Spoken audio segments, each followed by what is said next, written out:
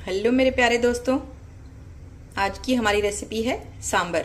आज हम प्याज वाला सिंपल सा सांबर बनाएँगे। जैसा कि आप देख रहे हैं, मैं ये बना रही हूँ कुकर में और मेरा सांबर अब तैयार हो चुका है।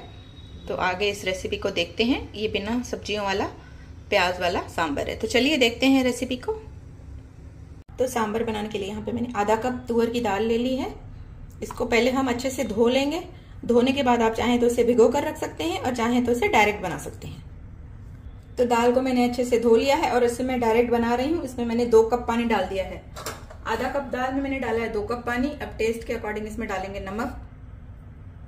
या इसमें वन टीस्पून नमक डालेंगे। और हल्दी पाउडर डालेंगे हाफ़ टी स्पून इसके अलावा मैंने चार कटी हुई हरी मिर्चें ली हैं और एक कटा हुआ प्याज ले लिया है। ये प्याज हम कच्चा ही डाल देना है दाल में ऐसे ही। और एक कटा हुआ टमाटर ले लिया है। टमाटर को भी हमें ऐसे ही डाल देना है। अब इसको हम लगाएँगे चार सीटी। इसे हम प्रेशर कुक करेंगे चार सीटी तक। तो दाल को मैंने गैस पर चढ़ा दिया है। इसे हम ढक्कन को बंद कर देते हैं। और इसे चार सीटी के बाद आपको मैं दिखाती हूँ। तो इसको चार सीटी हो चुकी है। आइए चेक करते हैं।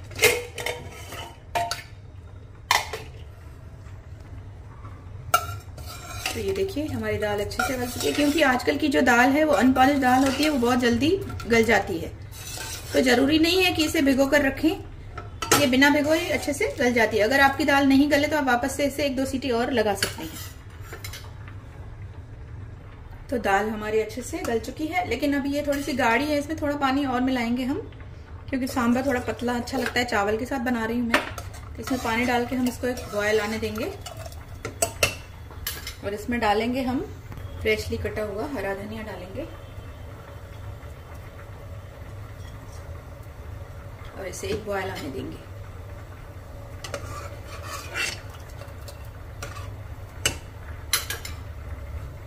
ये मैं प्याज वाला सांबर बना रही हूँ। इसमें मैंने सब्जियों का इस्तेमाल नहीं किया है। ये प्याज वाला सांबर भी बहुत टेस्टी लगता है चावलों के साथ। आप बनाकर देखिए। तो दाल में हमारे बॉयल आ चुका है। इसमें हम थोड़े से कड़ी पत्ते भी डालेंगे, थोड़े से हम बाद में डालेंगे तड़के में। और इसे हम साइड में रख देंगे। अब हम इसको लगाएँगे तड़का। बस तड़के के पहले आपको नमक और मिर्च इसका चेक कर लेना है। थोड़ा सा कम ज़्यादा लगे तो आपको डालना है। और थोड़ा सा इसमें हम मिलाएँगे सांबर मसाला। सॉरी मैं ये बताना भूल गई थी। तो यहाँ पे हम मिला रहे हैं इसमें दो बड़े चम्मच एवरेस्ट का सांबर मसाला। और सांबर मसाला डाल के अच्छे से मिक्स करना है इसको। इसमें एक बॉयल लाएँगे और ताकि मसाले का जो फ्लेवर है अच्छे से दाल में चला जाए। तो दाल हमारी अच्छे से, ये देखिए बॉयल हो चुकी है। इसे मैंने एक दो मिनट बॉयल कर लिया था ताकि सांबर मसाला जो है हमारा अच्छे से मिक्स हो जाए। तो हमारा सांबर मसाला ये देखिए अच्छे से मिक्स हो चुका है। अब इसको लगाएँगे तड़का। तो यहाँ पे मैंने तड़का पैन ले लिया है। इसमें थोड़ा सा तेल डालेंगे और थोड़ा सा डालेंगे हम इसमें देसी घी।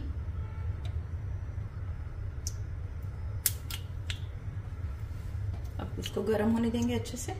तेल गर्म होते ही इसमें हींग डालनी है। अगर हींग है तो आपके पास, आज मेरे पास हींग नहीं है तो मैं नहीं डाल रही हूँ। और इसमें डालेंगे हाफ़ टी स्पून सरसों। अब डालेंगे करी पत्ते।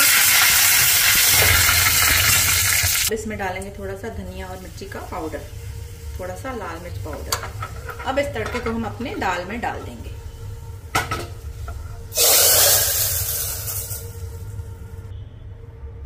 थोड़ी सी दाल तो भाई, तैयार हो चुका है हमारा प्याज वाला। सिंपल सा सांबर इस सांबर को आप चावलों के साथ खाकर देखिए, बहुत ही टेस्टी लगता है। तो आइए इसे सर्व करते हैं। तो सांबर और राइस को मैंने सर्व कर लिया है। आप देख सकते हैं, ये देखिए, चावल मैंने इस तरह से सर्व किए हैं। कटोरी में डाल के मैंने उन्हें उल्टा कर दिया है।